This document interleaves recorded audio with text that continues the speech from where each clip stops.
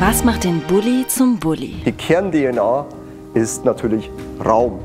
Der neue Multivan hat Raum in Fülle. Flexibilität, nutzbare Flexibilität, das macht jeden Bulli aus, auch den siebten, der neue Multivan.